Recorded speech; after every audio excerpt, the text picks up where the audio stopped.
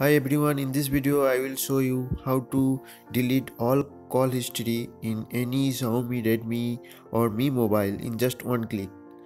Uh, so click dialer. You can see uh, here is many numbers showing. So if you want to delete all call history, just tap and hold any number here and you will see this option and you need to select uh, clear batch here on the bottom side. And here is the all number showing like this. You need to click on the top right corner.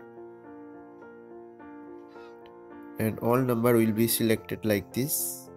Now you will have to uh, tap delete button on the bottom side and you will see this option clear selected call history and you need to click delete button and your all call history will be deleted from your mi mobile.